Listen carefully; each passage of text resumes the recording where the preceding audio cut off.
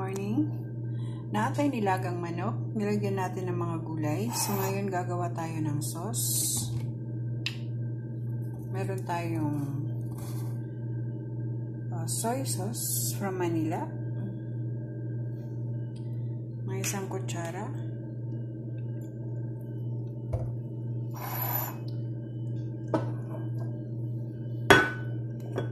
Tapos olive oil. Olive oil, mga isang kutsara.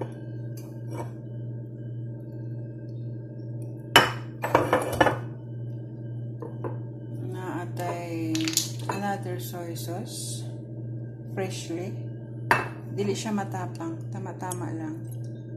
Light lang. Meron tayong light at saka dark. So, natay steak sauce.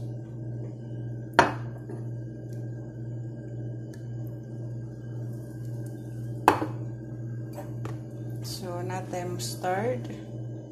Yellow mustard. Ayan siya. Mga isang kutsara din. Ba't tayo?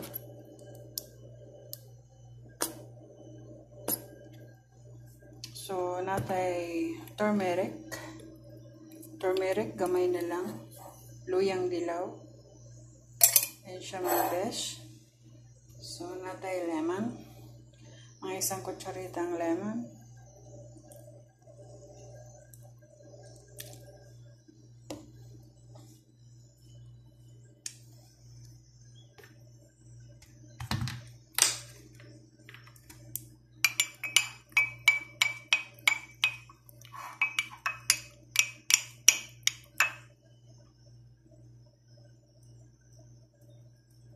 Tapos ipapahid lang natin dito sa ating manok.